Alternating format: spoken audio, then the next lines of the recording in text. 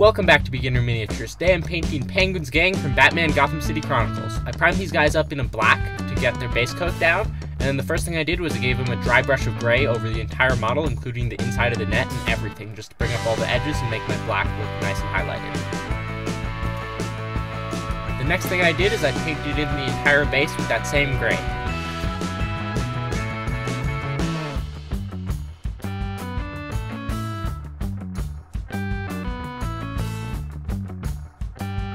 Then I took a dark brown and painted over the pants.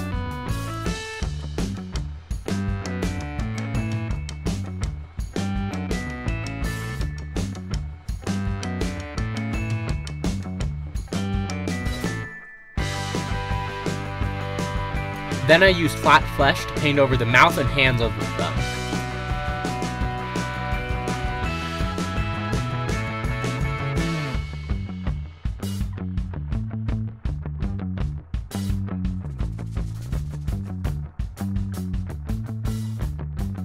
Then I painted in the upper half of their mask with some pure white.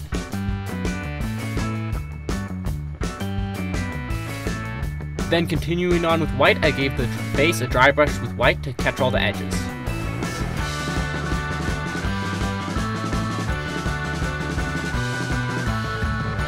Then for my metallics, I used some Leadbelcher to go over the belt buckle and the gun as well.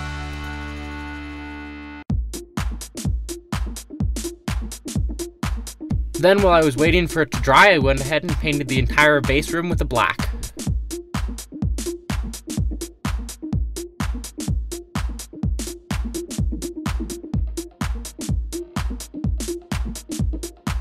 Then, for final step, I thinned some dark tone wash by Army Painter and then went over the entirety of the model, everything on.